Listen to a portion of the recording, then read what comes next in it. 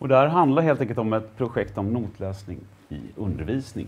Och vi kommer att presentera det här så långt som vi hittills har kommit i det projektet och förhoppningsvis beskriva lite grann vad vi har blivit något klokare kring.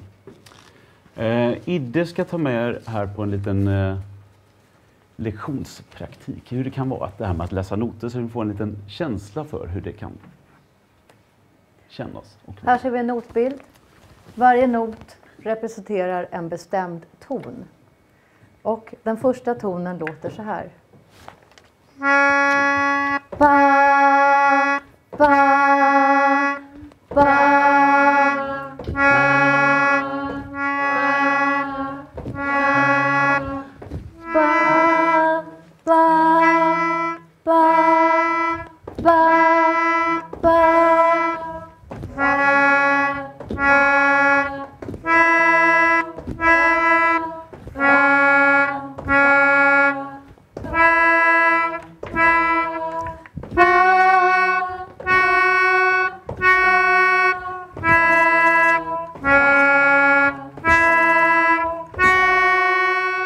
ordentligt.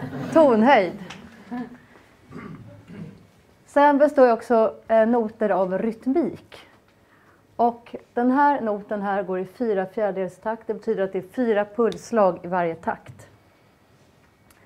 Och de här noterna är fjärdedelsnoter, alltså ett slag på varje takt. Så här. En. Jag räknar, räknar in till fyra. Så. Sen kommer en takt med åttondelar och det går två åttondelar på varje fjärdedel och det låter så här om jag räknar in. En, två, tre, fyra. Mycket bra. Då, vi spelar hela exempel ett. Jag räknar in. En, två, tre, fyra.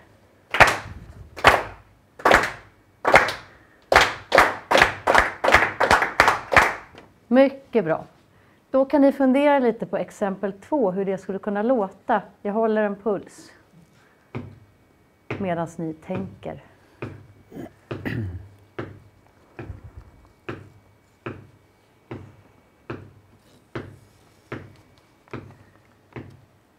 All right, ska vi prova? Jag räknar in. En, två, tre, fyra.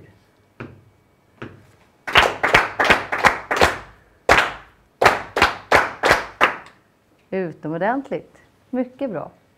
Då har vi provat lite på rytmik. Ehm, och om man då sätter ihop tonhöjd och rytmik så får man ju en melodi. Och där var de första tonerna, de när jag hoppade. Vi kan repetera dem igen. Första bara. Ba, ba, ba. Då har vi tagit dem. Eh, och så ska vi alltså ha de tonerna ihop med den här rytmiken. Och det är samma takt som vi klappade i förra exemplet, på förra sidan. Eh, paus och så åttondelar. Ba är första. Så vi provar helt enkelt. Jag räknar in. En, två, tre, fyra. Ba, ba, ba, ba, ba, ba, ba, ba, ba. Ba, ba, ba, ba, ba, ba,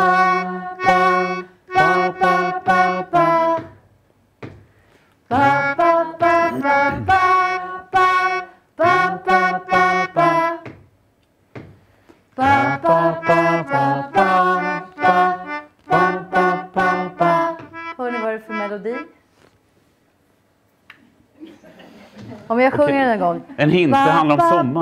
Ba, ba, ba, ba, ba, ba, ba. Känner ni igen den? Sommartider. Sommartider, hej, hej, sommartider. Så här på hösten. Ja, Mm. då lämnar jag över till Marcus. Eh, Då kan man ju fråga sig varför vi gör det här. Ehm, Och vi satt och funderade på vad som funkar bra i vår undervisning och vad vi kan göra bättre.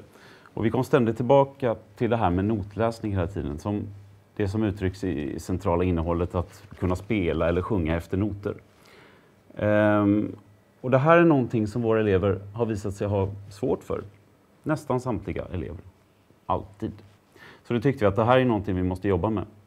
Ehm, ett bakgrundsproblem skulle kunna vara att de elever som vi har på vår skola, vi spelar ju främst rock, pop, soul, musik och liksom åt det hållet. De är inte klassiskt skolade.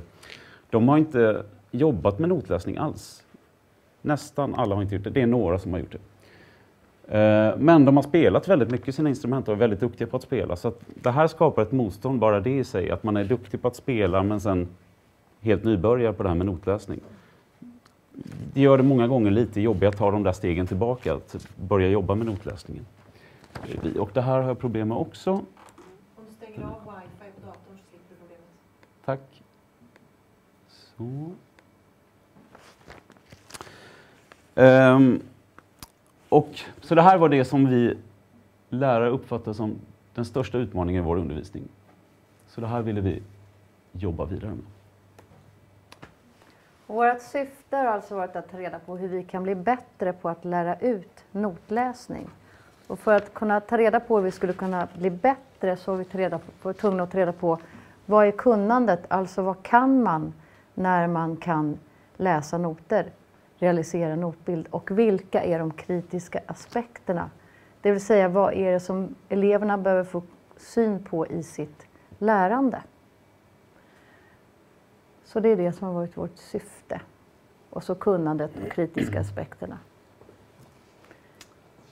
Och då började vi fundera på hur vi skulle genomföra det här projektet och vi fastnade för en learning study-metod som vi hade hört talas om och blivit lite intresserade av. Och eh, det har väl inte använts så jättemycket inom musik Eh, forskning, sådär, eh, learning study, vad vi vet i alla fall. Det kanske ni känner mer till. Men i många andra ämnen har man använt det här eh, som en metod att forska kring framförallt vad som är viktigt att eh, undervisningen ska innehålla för att eleverna ska kunna eh, utveckla ett visst kunnande. Ehm, och ja, hur många känner till det här med learning study här inne? Har jag hört? Tänkte lite hur mycket man behöver alla känner till det här. Va? Så att, men då vet ni att man jobbar i, i cykler. Eh, man, genomför ett för, man har ett lärandeobjekt, någonting som man eh, önskar att eleverna ska kunna, som de ska lära sig. Eh, man kollar vad deras kunskaper är i förhållande till det lärandeobjektet, vilket man då kallar ett förtest. Sen så skapar man en lektion, man planerar vad lektionen ska innehålla, vad är viktigt att eleverna får syn på, vad, vad ska de kunna urskilja i undervisningen för att, för att de ska vara möjligt att utveckla det här kunnandet. Och sen gör man också eftertest och då sätter man sig och analyserar de här lektionerna och eftertesten och eh, ser helt enkelt hur kan man spetsa till det här så det blir ännu bättre till nästa cykel. Kommer vi, kom vi åt det vi ville eller behöver vi ändra på någonting? Och eh, ska vi säga här under genomförandet här har vi haft jättefin hjälp av, vi har ju ingått i en sån här eh, SDLS-projekt. Så vi har ju fått eh, jättebra handledning eh, som har hjälpt oss att ta oss vidare, eller hur? på vår resa.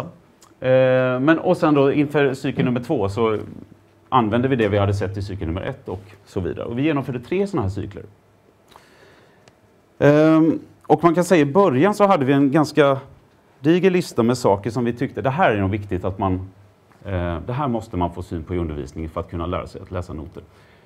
Och det är väl någonting som vi känner eh, när vi har jobbat med det, att lika mycket som det har blivit viktigt att få syn på vad lektioner ska innehålla, så är det också vad behöver vi inte undervisa om? Att helt enkelt kunna bli lite tydligare i när vi planerar en lektion och dess innehåll. Eh, till exempel kan jag nämna att vi höll på mycket med det att eleverna måste kunna hålla takten, alltså hålla pulsen själv. Och det var någonting när vi satt och dissekerade i eh, de här eh, första cykeln tror jag det var Eh, att är det, handlar det egentligen om notläsningskunnande eller är det ett annat kunnande? Att liksom renodla vad det egentligen handlar om. Så i cykel nummer två och tre så fick de en puls att förhålla sig till hela tiden. Antingen i förtesten kunde det vara att man knäppte pulsen så, men också inspelade komp faktiskt under lektionerna som de fick jobba till. Eh, så att, och det, var, det är bara ett exempel på saker vi kunde skala av för att faktiskt komma åt det som var absolut kritiskt att undervisa om. Sen finns det ju andra sådana här kunnande som man skulle kunna kalla indirekt, indirekta lärandeobjekt, eller någonting som måste ligga till grund för att kunna läsa noter. För att det ska kunna bli musik av det så måste man kunna utföra det på något instrument. Antingen att sjunga eller att spela på ett instrument. Och det, det kommer man inte förbi så att säga. Så ska man utföra det på ett piano då måste man ju känna till var tonerna ligger för att kunna utföra det. Så det går inte helt bara att prata om notläsning som en sak utan det är ju ändå finns andra kunskaper som måste till också. vid Sidan om.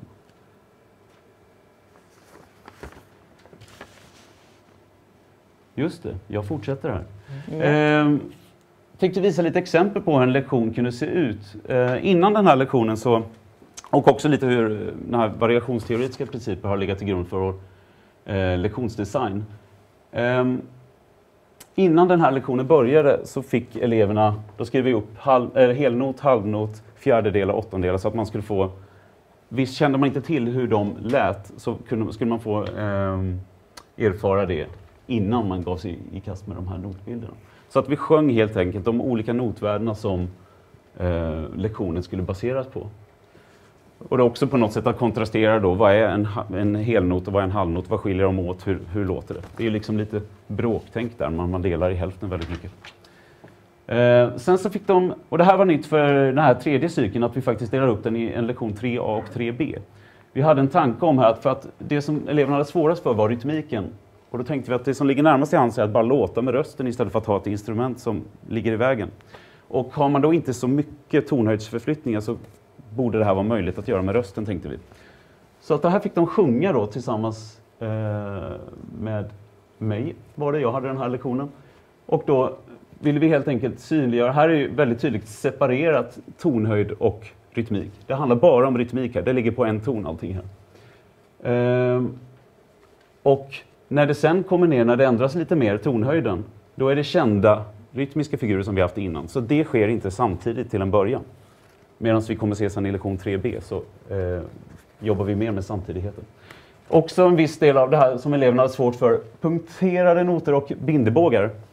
Eh, de här två takterna låter likadant, så det är en slags generalisering av det här ljudet som låter likadant. Det kan skrivas på två sätt.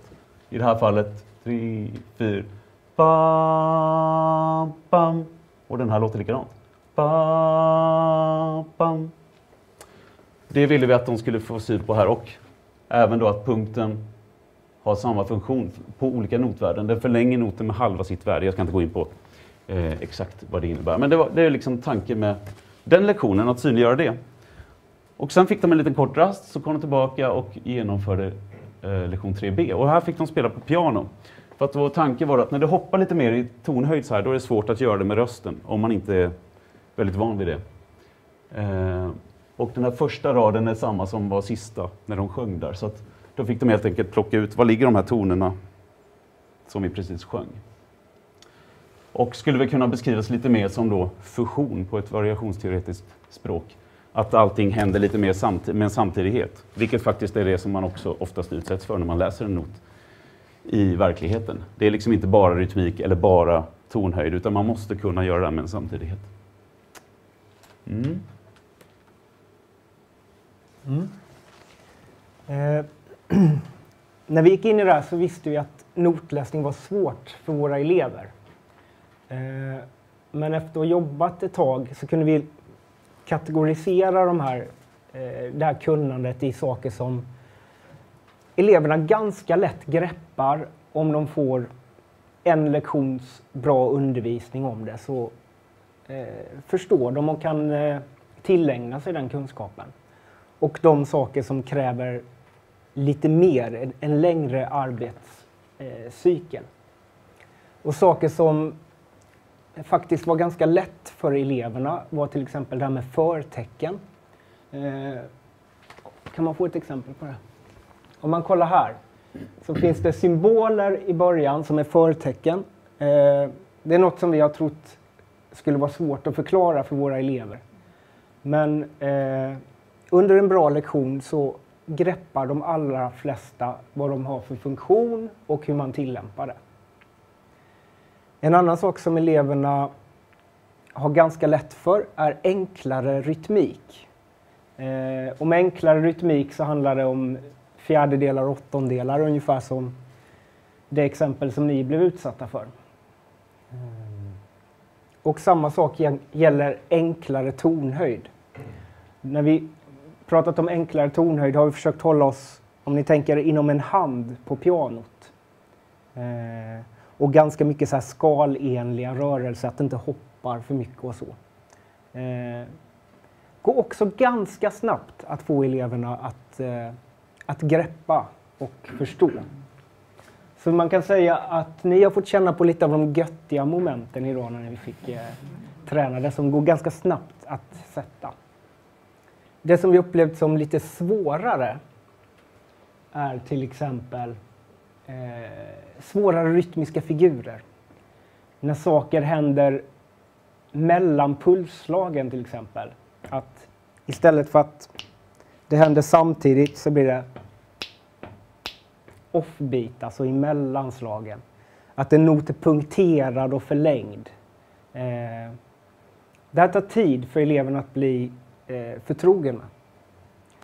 Och samma sak gäller eh, svårare tonhöjd. När det är ett större register och större hopp mellan tonerna. Eh, och så det som kanske har varit eh, svårast för oss och kanske var det för er också här, är samtidigheten.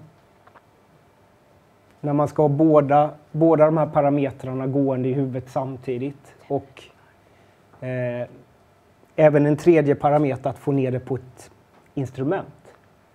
Och kanske en fjärde parameter att knyta det eh, till sitt gehör. Eh, jag vet inte om ni tänkte på det när vi körde sommartid här. Om Idde hade sjungit sommartider för er först så tror jag att ganska många här inne hade satt att det där är sommartider. Men när man har de där andra parametrarna gående så finns det inte hårddiskutrymme nog att ha gehöret igång riktigt. Så den samtidigheten är eh, något vi måste jobba länge med. Marcus? Mm. Du kan säga att vi har gjort analysen som i två steg här, jag ska bara förklara. Så att det här och någon slags analys av vad kunnandet innebär, så långt som vi har kommit hittills. Och så har vi också gjort en, då en analys om vad, är, vad lektionerna behöver innehålla, vad är liksom innehållet som är absolut nödvändigt eh, för att eleverna ska kunna urskilja det viktiga för att kunna utveckla sitt notläsningskunnande. Och det här kan vara lite förvirrande, vi är ju som slags mm, mitt i det här, så att vissa av de här lite förvirrande låter som en beskrivning av ett kunnande med, men jag ska försöka förklara. Eh, så. Eh, till exempel det här då, att kunna utföra rytmiken av notvärden och pauser i förhållande till en given puls. Det där vi pratade om innan, att inte, man behöver inte kunna hålla pulsen själv, utan notläsning handlar om att kunna göra det i förhållande till en given puls. Eh, och det där är någonting som vi har tänkt här då, det är ju att det här är saker som eleverna måste få syn på i undervisning. Och det som vi har jobbat både med det här då, rytmik och tonhöjd, det är ju att separera kunskaperna för att sen slå ihop dem. Så det är väl kanske det som är det viktiga. Kanske man skulle uttrycka det här istället. Det här är kanske det viktigaste vi har hittat, tycker vi nog. Att för att kunna utföra de där svårare rytmerna så visade det sig vara absolut nödvändigt att undervisa om något som kallas underdelning. Och det är på musikspråk alltså minsta beståndsdelen i rytmiken skulle man kunna säga. Vi har pulsen som är fjärdedelarna här. Vilket får plats fyra stycken i en sån här takt. Men noterna som Jakob beskrev innan här, då kommer ibland inte på slagen utan på offbeat och det skulle kunna vara sextondelar, trioler och andra eh, rytmiska figurer här med. Men i det här fallet så är det åttondelar som är minsta gemensamma nämnare. Och genom att känna de här, att tänka dem i huvudet, så blir det mycket lättare att placera in var emellan pulsslagen noterna faktiskt ska komma. Så här då till exempel ska jag försöka peka och sjunga. Så man tänker de här det här åttondelar, här har jag fjärdedelarna i, pul i foten. Så blir det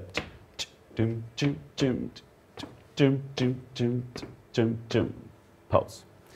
Så att alla de här jag liksom pekade och sa med munnen, de finns representerade i det här jag tänker. Och det här var liksom nyckeln, kunde vi se, för att eleverna skulle förstå det här. Hade det varit en 16-delsbaserad melodi, om det hade varit 16 delar här, då hade vi varit tvungna att känna för att hitta var någonstans de där ska komma. Ehm, det här var Jakob inne på också innan, ehm, att kunna utföra tonhöjd i melodin. Det är ju ett kunnande som beskrivs det här då, men det är också just det här att separera det för eleverna i början innan man slår ihop det. Eh, notläsning, enkelt snabbt beskrivet, kan ju beskrivas som en slags vertikal och horisontell aspekt. Alltså vi har det horisontella som är det tidsliga, liksom, hur länge av någonting ska det låta? Och det vertikala, i vilken tonhöjd? Och de där aspekterna måste man ju få ihop samtidigt, men det är lite svårt att göra det eh, som nybörjare med en gång. Så att separera de kunskaperna för att sen slå ihop dem, att då på variationsteoretiskt språk jobba med fusion. Det är så vi har eh, jobbat och visat sig vara bra. Sen någonting som inte är en kritisk aspekt, men som vi ändå måste liksom så här, lite självkritiskt kanske ändå liksom ta upp, det är att man måste ju lägga ner tid på det här. Eh, och inte bara, tid löser ju inte allt, utan men kanske tid och bra metoder. Alltså bra undervisning, men tillräckligt med tid. Som Jakob beskrev så är det många av de här sakerna som man inte kan utveckla på en, en, liksom en lektion eller en kortare tid. Eh, och det måste vi också eh, tänka in i bilden. Så att nu håller vi på att pro planera projekt framöver som är över sex och åtta veckors tid när vi jobbar med det här i lite lugnare takt och verkligen så jag kan metodiskt jobba med det här. Eh, och det är väl kanske också lite den, kan man då säga, ur, ur vår synvinkel, kritiken mot Learning Style, eller inte kritik mot Learning Style, men i vårt fall att den inte lämpar sig jättebra. Vi kunde inte få syn på alla saker för att eh, en lektionstillfälle räcker inte för, för vissa av de kunderna.